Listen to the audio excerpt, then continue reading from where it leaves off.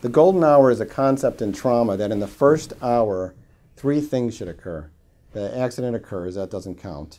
The fire rescue team comes to the, to the trauma scene, to the accident scene, evaluates the entire scene, picks up the patient, and either on ground rescue in the fire truck or air rescue in the helicopter, brings the patient to the trauma center.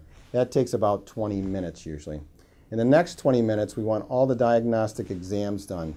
The patient's evaluated, x-rays are taken, uh, the diagnosis is made, and a treatment plan is started. And in the last 20 minutes to complete the hour, the bleeding is stopped. So we want all that to occur in the first hour from the accident. The golden hour is important because it's been shown that the longer it takes to get the patient from the accident scene to stopping the bleeding, there's a direct correlation to the mortality rate.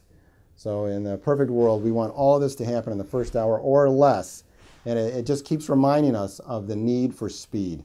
We constantly want to be getting things done faster, quicker, sooner. And that's the reason that in a trauma center, the trauma surgeons actually stay in the center. They don't, you know, the, there's always a surgeon in the center, always available, so that as soon as the patient arrives, the workup is immediately started, not a minute later.